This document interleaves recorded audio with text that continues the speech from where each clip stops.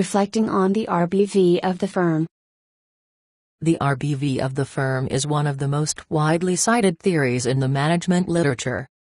Its central proposition connotes that if a firm is to achieve sustainable competitive advantage, it is required to acquire and control resources that are valuable, rare, unique, inimitable, and non-substitutable. 31 Although the core theory of the RBV of the firm is appealing, it has been criticized for its weaknesses and shortcomings over the years. These criticisms fall into four categories. Criticism number 1 The RBV has no managerial implications. The RBV of the firm has been criticized for its lack of managerial implications and operational validity. Managerial leaders have been counseled to acquire and develop resources without a clear prescription of how this should be done. Thus, there is a tension between descriptive and prescriptive theorizing. However, the RBV of the firm aspires to explain why some firms have sustainable competitive advantages over others. As such, the theorizing was never intended to provide managerial prescriptions. 32 Selected writers assert that we should continue to focus on a discussion on the impact on managerial practice as opposed to a focus on a lack of managerial implications. 33 Criticism number 2 the RBV's applicability is too limited. A second criticism concerns the applicability of the RBV. Some authors argue that the notion of resource uniqueness denies the RBV of the firm any potential for generalization, 34 whereas others contend that it is feasible to create useful insights about degrees of resource uniqueness. 35 Another criticism pertains to the claim that the RBV insights are limited only to large firms with significant market power. However, a more realistic perspective is that insights from the RBV analysis are only applicable to firms that are not satisfied with their competitive position and actively pursue sustainable competitive advantages.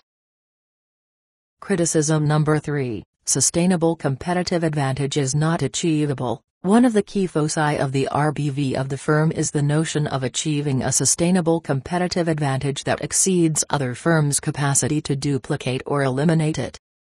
This has become a hotly debated issue. Can a sustainable competitive advantage really be achieved? A number of studies suggest that competitive advantages can only be sustained at the firm level through organizational learning or dynamic capabilities, which enable the firm to adapt faster than its competitors. 36 other studies have demonstrated that static unique resources can lead to sustainable competitive advantages in static environments whereas dynamic environments demand dynamic resources and capabilities. 37.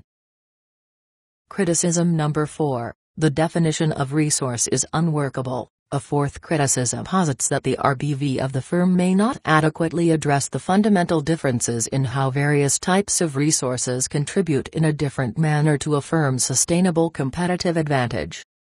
Although the RBV of the firm recognizes three categories of resources, it treats them equally. In a recent publication, Barney and Clark suggest that the offered typologies are mere labels for which the basic logic of the RBV of the firm still holds. 38 They propose that different labels would only be appropriate if these referred to an alternative logic of linking a firm's assets with its sustainable competitive advantage favoring a single logic and terminology. These, for instance, could be labeled resource-based, capability-based, or competence-based. Other writers have concluded that the image and applicability of the RBV of the firm would improve if its basic logic would be refined by explicitly recognizing differences between types of resources, that is, static dynamic, tangible intangible, financial human technological, deployed in reserve, and perishable non-perishable, and between the types of resource ownership. 39.